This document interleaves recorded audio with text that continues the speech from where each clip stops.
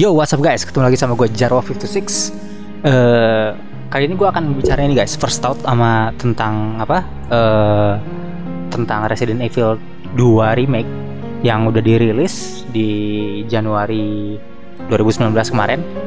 Eh Mumpung lagi bulan puasa nih guys. Jadinya agak-agak apa? Eh, First thought gue tentang Kesan pertama gue mainin Resident Evil 2 Remake Itu keren banget guys. Jadi gini eh Resident Evil 2 itu punya bagian penting dalam dalam masa kecil gue ya.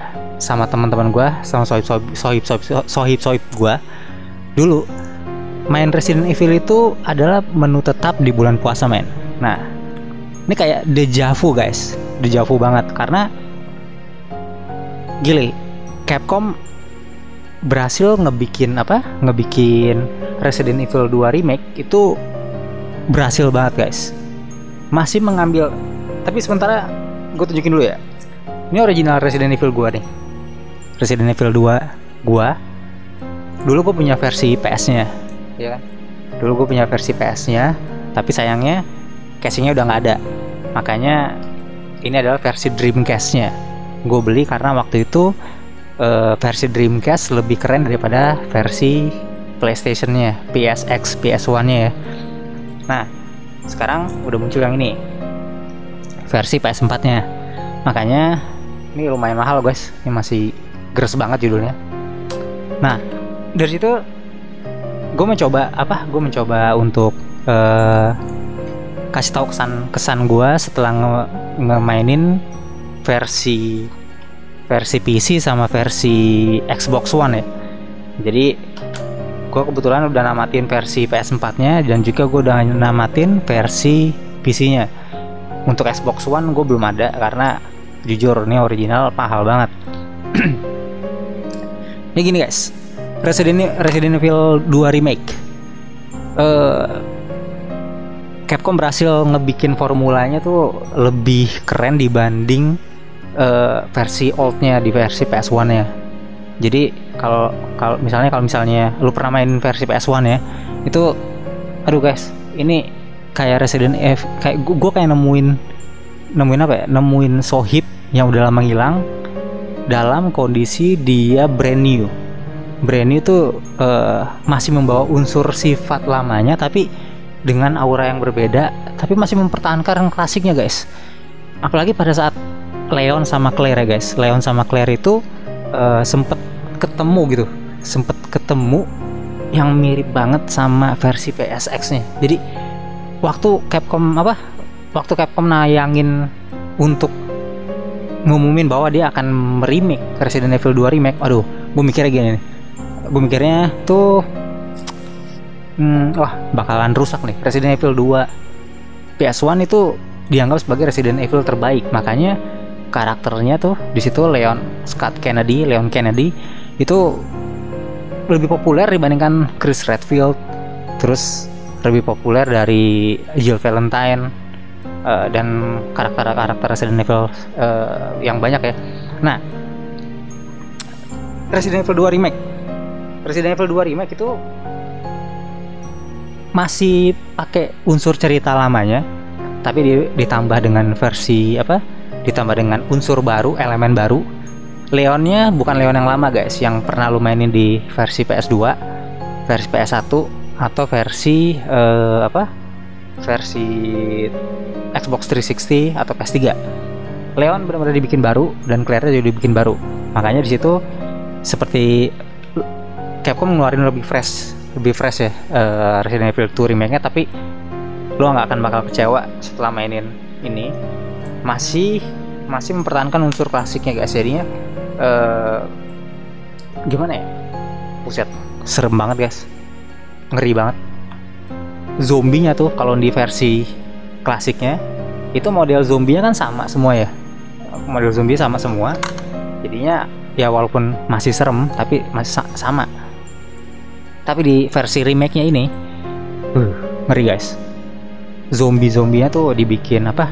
Dibikin lebih lebih bervariasi terus lebih detail aura-auran apa? Aungan-aungan rongrongan suara itu uh ngeri banget. Dan juga bikin kaget guys. Aduh gue nggak pertama kali gue main ini buset gue kaget-kagetan terus. Dan the Javu guys. Lo tau nggak? Gue sama sohib-sohib gue kalau yang lagi nonton nih Dakur Takur. Terus ada Doyok ada Kikur ada ada Bung Herman Yandi. Itu siapa lagi ya? Ya itu sohib-sohib gue waktu gue namatin Resident Evil 2 versi ini.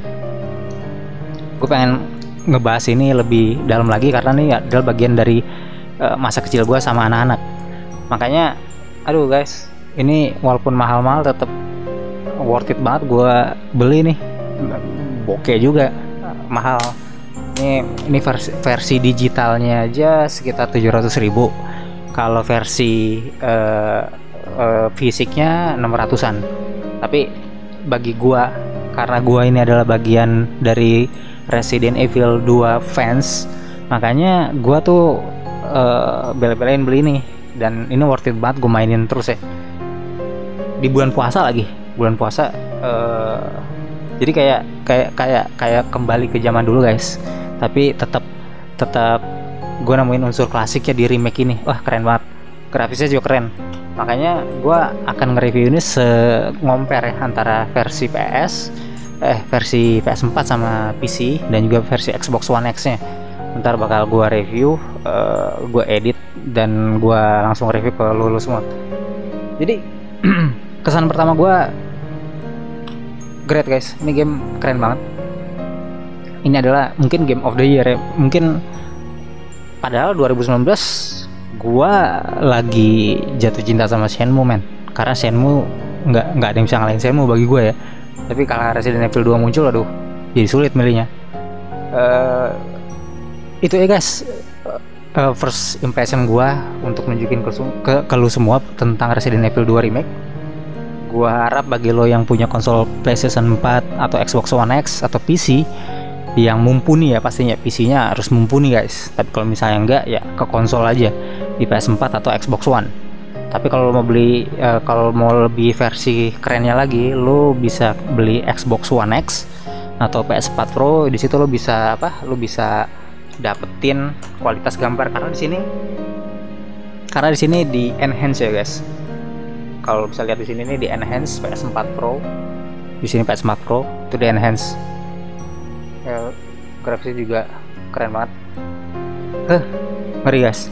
Oke guys itu aja untuk first impression gue untuk mainin Resident Evil 2 jangan lupa uh, stay tune buat nge-review gue nih re, uh, gua, gua review buat lo semua yang pengen tahu uh, gimana rasanya seremnya dan juga lo bisa dejavu lagi dari Resident Evil ini uh, karena uh, ngeri dan juga nih game keren banget guys keren banget. Di yang punya PS4 atau Xbox One lu cobain ini. Keren guys. Puzzle-nya keren puzzle-nya susah banget terus uh, bener-bener survival horror guys. Survival horror banget karena ammo lu terbatas di situ pelurunya terbatas uh, nyau apa medicine herbsnya itu juga aduh terbatas banget wah survival. Jadi gue saranin kalau lo baru pertama kali main mendingan beginner dulu guys. Dan untungnya gue udah ngejelasin versi hardcore dan dapetin yang dimauin semua Resident Evil Resident Evil fans yaitu infinite ammo. Jadinya walaupun gue udah infinite infinite ammo juga susahnya bukan main. Uh. oke. Okay. itu aja guys. Thank you for watching. Jangan lupa like share dan subscribe uh, sama pantengin terus di review Drawing with Fajar Numeri, video games Indonesia dan juga uh, Toys Review di Jarwo 526 Warehouse Project uh, di channel gua Fajar 526. Uh, kalau lu suka like, share, dan subscribe, uh, thank you for watching. Thank you guys.